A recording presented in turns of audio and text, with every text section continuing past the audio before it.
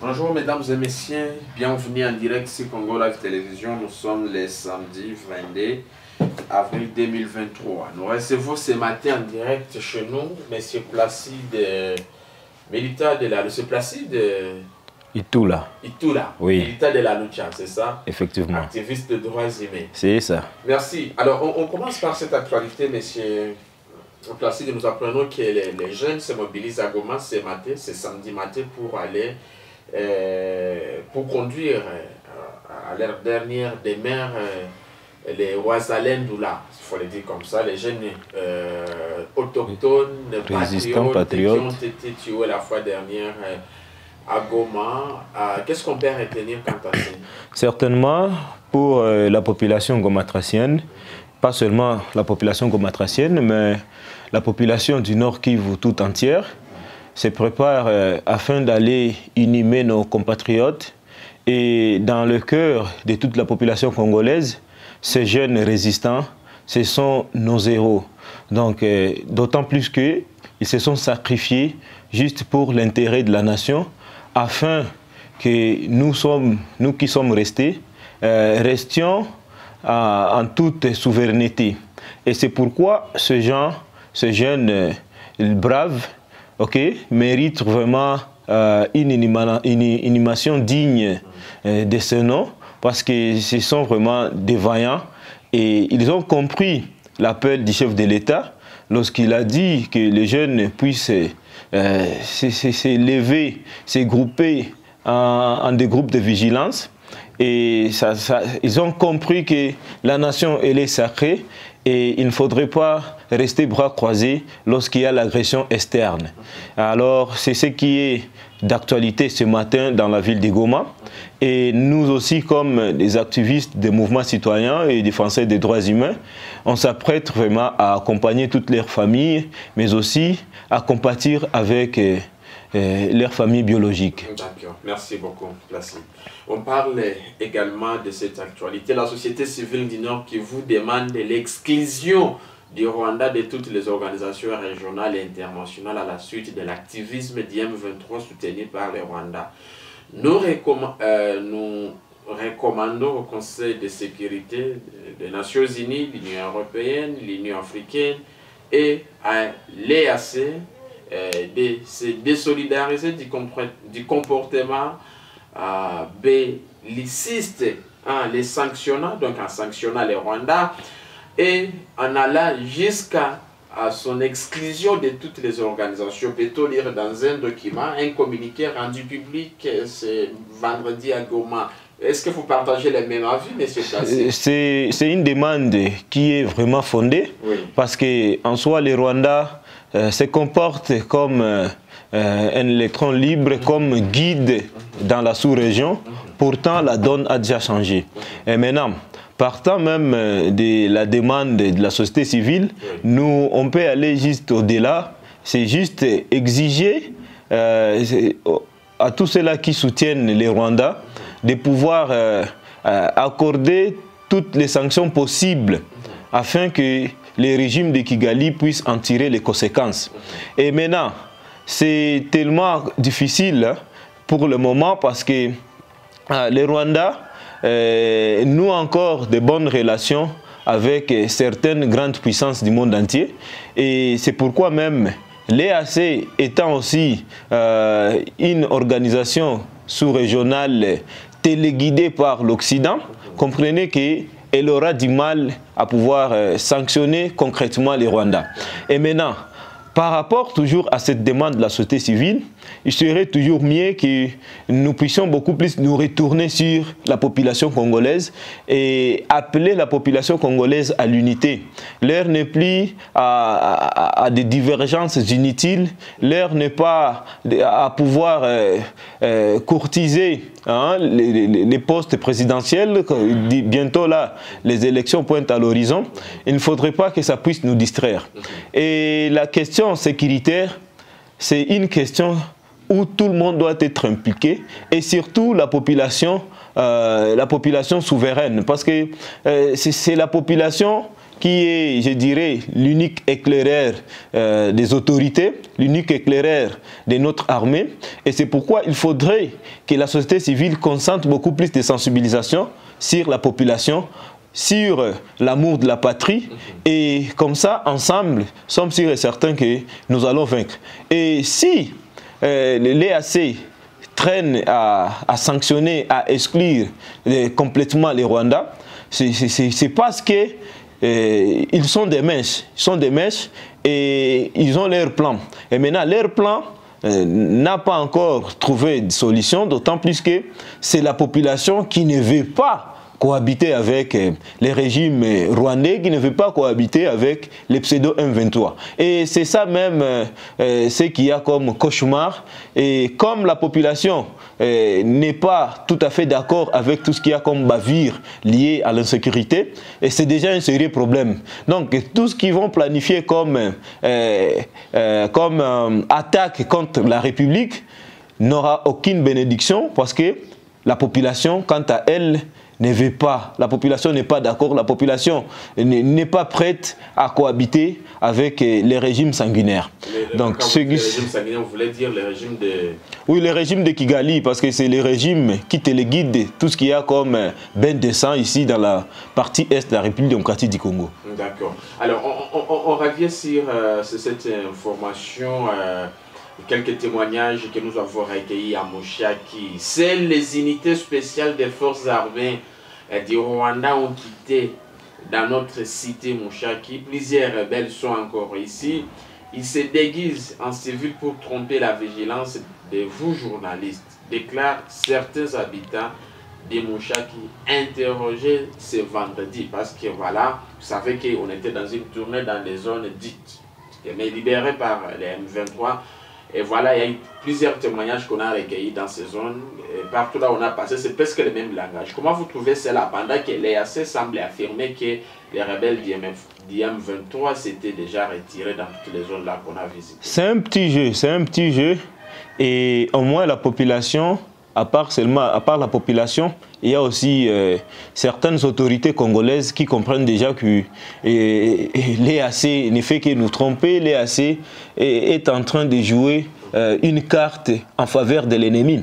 Et s'il faudrait maintenant trouver des éléments palpables justifiant effectivement euh, le non-respect de tout ce qu'il y a comme processus de par le régime de Kigali, ce sont là les éléments. Et la fois dernière, Hein? Lorsqu'il y a eu des altercations entre les jeunes résistants, c'était les, les, les 11 avril, donc les 11 de ces mois. C'est là où il y a des altercations. Il y a eu des altercations entre les jeunes résistants et les M23 qui étaient encore à Kibumba. Et maintenant, nous, on se demande comment se fait-il lorsqu'il y a euh, des violations de la part des M23, les les troupes de l'EAC, ou soit les QG général de l'EAC, ne parviennent pas à, tirer tout ce qu'il y a comme sanction contre les Rwandais. Donc, c'est en quelque sorte un jeu que ces gens sont en train euh, de nous jouer et il faudrait que notre gouvernement et nos autorités euh, prennent vraiment des décisions tellement drastiques afin de contraindre leur plan à, à l'échec en soi. Et au-delà de ça, il suffisait juste de comprendre. Lorsqu'il y a euh, que toutes, toutes, toutes, les opérations liées par exemple à, la vérification, parce qu'il ne faudrait plus vérifier, parce que euh, normalement, les délais limites du retrait du M23, c'était le 30 mars. Alors, les communiqués, ou soit euh, l'accord de Luanda, stipule que lorsque les rebelles du M23 refusent Hein, de ne pas se rendre à leur euh, endroit de cantonnement, oui, je rappelle très bien, dans les Sabignons, l'EAC sera contraint de les, de, déloger par les armes. Maintenant, Jusqu'à quand? Qu'est-ce que l'EAC est en train de patienter jusqu'à présent? Aujourd'hui, aujourd'hui nous sommes euh, nous sommes le 22 le 22 avril. Hein? Déjà euh, déjà 22 jours passés depuis les 30. Alors, on se demande, est-ce qu'il faudra encore continuer à dorloter les régimes de Kigali Alors, c'est les régimes ou c'est les rebelles? Non, non, c'est les régimes. Nous, nous voyons directement l'auteur. On ne va pas dire les rebelles. Les rebelles ne sont que des simples exécutants. Mais euh, les, gens, les instigateurs, c'est les régimes de Kigali avec à la tête le président rwandais Paul Kagame. On ne voit pas se voiler la face. Parce qu'en soi, même. Non, non, il y a même des rapports qui montrent à suffisance que euh, les régimes de Kigali, c'est ces régimes qui se déguisent en M23 juste pour essayer un peu de, tromper la vigilance de l'opinion tant nationale qu'internationale. Alors, c'est là où nous fustigeons les comportements hypocrites du, directoire de l'EAC et nous allons demander à notre gouvernement de faire tous les moyens possibles afin de, de nous retirer de cette fameuse euh, communauté des États d'Afrique de l'Est. Au-delà de ça, de rapatrier toutes les troupes étrangères qui travaillent sous couvert de l'EAC ici en République du Congo et que nos autorités et surtout qui sont chargés euh, des problèmes de la sécurité, notamment les ministères de la Défense, et, mais aussi les chefs d'état-major euh, général des armées, doivent voir comment euh, signer maintenant des, coopérations bilatérales entre, entre pays que nous estimons qui, qui, peut nous être utile, qui peut être quand même sérieux par rapport à notre engagement, par rapport à la défense de notre cause. Et, quand vous parlez d'une signature, pardon, d'un engagement avec euh, les, les, pays qu'on suppose être sérieux pour accompagner la RDC dans cette crise, il faut préciser qu'il y a la Russie qui a dit, qui s'est dit très préoccupée par la situation sécuritaire en RDC. Euh, en tout cas, à Moscou s'est dit prêt à donner son aide pour combattre tous les groupes armés qui équipent l'Est du pays, notamment les terroristes d'IM23, a déclaré l'ambassadeur Alexis euh, Setabov, ambassadeur de la Russie, accrédité en République démocratique du Congo. Comment vous trouvez cela? Et d'ailleurs, notre gouvernement traîne à ses rallier du côté de la Russie. On se demande aussi qu'est-ce qui ne va pas. Hein, avec tout ce dont nous voyons comme euh, euh, contournement, comme euh, hypocrisie de la part de l'Occident, mais aussi de la part des États-Unis. Moi, je pense qu'il ne serait plus le temps de traîner à signer des, coopérations bilatérales entre la RDC et la Russie à part la Russie, il faudrait aussi comprendre, hein, lorsqu'il s'agit de la guerre, la Russie joue euh, un contrepoids contre les pouvoirs, euh, les pouvoirs de, l'Occident et des États-Unis. Et là, il y aura quand même, quand même équilibre. Et au-delà de ça, on doit aussi se choisir des amis des proches, des amis sincères, des amis sérieux hein, de la RDC qui peuvent être prêts à, combattre de notre côté. Et cela, ça doit se faire non pas sous couvert d'une quelconque organisation sous-régionale, mais ça doit se faire directement entre pays. Hein? Donc, on s'en convient, tel pays, envoyez-nous vos militaires, en contrepartie, on paye tel montant ou soit on donne aussi tel avantage, et mais que nous marchons sur nos tests directs pas avec les, affaires là des organisations sous-régionales, parce que ce sont ces organisations, une fois arrivées en République démocratique du Congo, on dirait qu'on les a aidés aussi à venir euh, euh, tirer quelque chose de leur part, donc euh, récupérer leur moitié, leur part du, gâteau, chose que nous, comme population victime, on ne peut pas quand même tolérer, et nous sommes vraiment impatients que notre gouvernement voie comment être flexible, être, oui, je dirais, être flexible par rapport aux, signatures beaucoup plus bilatérales et qu'il ne faudrait pas que, nous puissions nous les retirer dans toutes euh, ces fameuses euh, organisations sous-régionales qui ne nous aident en rien. Oui, parce que ça doit être du gagnant-gagnant. Venez nous aider. Oui, et nous aussi, euh, on va en contrepartie donner quelque chose qui sera aussi à leurs avantages, conformément à ce qui sera défini dans les tests. Au-delà de ça, notre gouvernement ne doit pas se laisser distraire à ne pas organiser notre armée. C'est là où nous insistons toujours. Oui, toutes ces, armées étrangères, bien que euh, nous pouvons signer des, coopérations bilatérales entre pays, mais l'opération de, renforcer notre armée pour qu'elle puisse encore remonter en puissance ne doit pas être exclue. Oui, parce que toutes ces armées étrangères sont censées partir, mais nous allons rester avec notre armée. Et c'est notre armée qui nécessite vraiment une attention très particulière afin que nous puissions encore la redonner euh, cette grandeur, cette puissance qu'elle a toujours méritée. comme vous parlez qu'il faut vraiment renforcer, équiper notre armée, on va parler de cette loi qui, qui, qui, sera bientôt, je crois, mise en application, une loi liée aux réservistes, voilà. C'est déjà, la question est déjà à l'ordre du jour à Kinshasa. Comment vous trouvez cela? Oui, c'est vraiment euh, tellement louable. Hein. Oui, parce que là, ça rejoint notre souhait. Il faut voir comment les jeunes, hein, les jeunes patriotes se sont donnés pour euh, la défense de cette, de cette patrie. Et cela, c'est juste par leur propre volonté. Oui, il suffisait juste d'un simple appel du chef de l'État pour que vous puissiez voir comment les jeunes se sont déployés d'eux-mêmes, afin de voir comment prendre certaines positions pour barrer route à, l'incursion de, nos ennemis agresseurs, de nos ennemis qui envahissent la patrie. Et maintenant, ce serait vraiment une manière de les récompenser. Hein? On doit les récompenser et les encourager aussi, les encourager, les motiver. Et là, c'est vraiment une politique de la défense nationale très très efficace et nous supposons qu'il y aura intégration encore massive d'autres jeunes afin que nous puissions tous ensemble combattre l'envahissement de notre patrie. Et maintenant, l'Assemblée nationale doit traiter ça dans l'urgence parce que c'est vraiment une nécessité et ça doit quand même redonner encore cette force et cet amour, cette grandeur de la nation du point de vue externe. Merci. Euh, beaucoup. Euh, on, parle également de euh, ces jolis coups de filet de la police, de, un, joli coup de filet réalisé à Goma par les services de sécurité à Goma.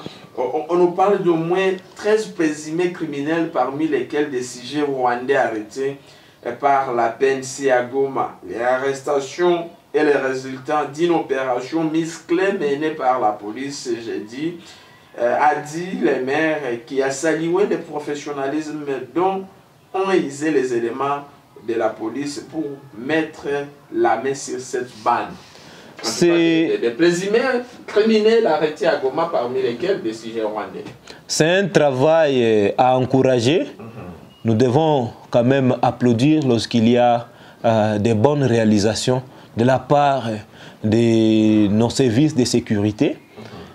Et pour ça, nous disons en tout cas félicitations à notre police nationale et félicitations aussi à nos services de renseignement qui ont réussi à filer ces, ces, criminels afin de les mettre à la disposition euh, de, notre police. Et au-delà de ça, maintenant, ce dont nous pouvons recommander à, nos autorités, tant policières qu'administratives, il faudrait que ces gens puissent vraiment être condamnés.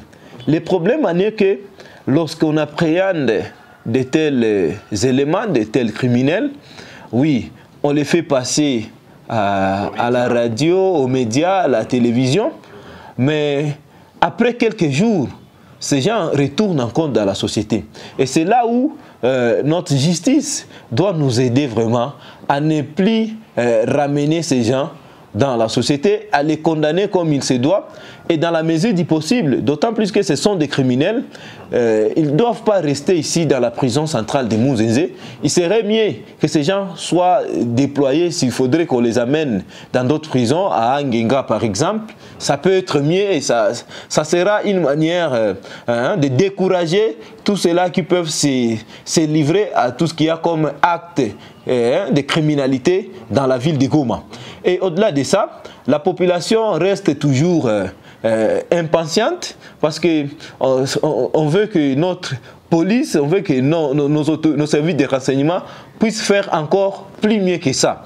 Oui, hein, il ne se passe plus 24 heures sans pour autant entendre le crépitement des balles dans la ville de Goma ou soit dans les territoires périphériques. C'est quelque chose qui essaye un peu de tourmenter la population. On se demande au juste est-ce qu'il y a des autorités ou soit nous sommes dans, la jungle en soi. Alors, c'est pour cela que nous disons que les autorités militaires et la police doivent beaucoup plus collaborer avec la population. La population lance des alertes. La population euh, informe à temps réel eh, les autorités militaires, mais malheureusement, les interventions traînent toujours euh, à venir, surtout lorsqu'il y a cambriolage, lorsqu'il y a euh, incursion de ces groupes qu'on appelle communément 40 voleurs dans, dans, différentes maisons, dans différents quartiers de la ville de.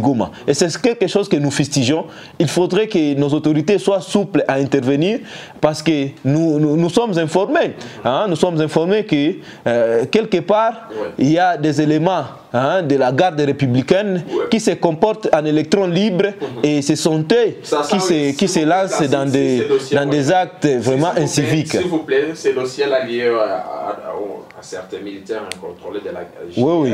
on y reviendra, on va chercher les éléments, on va creuser là-dessus si c'est vrai, parce que ce n'est pas tout le monde qui porte un uniforme militaire, qui est militaire. Il y a d'ailleurs, euh, avant-hier, le même jeudi, on a vu les, les lieutenants-colonels Ndjike, les porte-parole de, de l'armée au Nord Kivu, qui a présenté quelques, en fait, quelques criminels, une bande de, de personnes arrêtées à Goma et qui portaient détenus militaires de la Effectivement, c'est là où nous fustigeons les, les, manques. Les... Oui, on va y travailler s'il vous plaît, parce que nous, nous sommes presque à la fin de euh, cet entretien. L'État, je vois vraiment nous. nous euh, alors, on, on, se quitte par juste un message à nos forces armées de la RDC, moins de 30 secondes, s'il vous plaît. À nos voyants militaires de tenir fort, la victoire est certaine et nous sommes certains que nous allons vaincre l'ennemi, euh, même si la guerre semble être longue, mais la victoire est dans notre camp. Courage à nos vaillants, tenez fort, la patrie ou la mort, nous vaincrons. Merci, mesdames et messieurs. Nous sommes à la fin de cet entretien. Merci de nous avoir regardé. Merci d'avoir été là ce matin. C'est plutôt nous qui vous remercions, monsieur le journaliste. Pareillement, merci. Merci, mesdames et messieurs. Bye bye. Bye.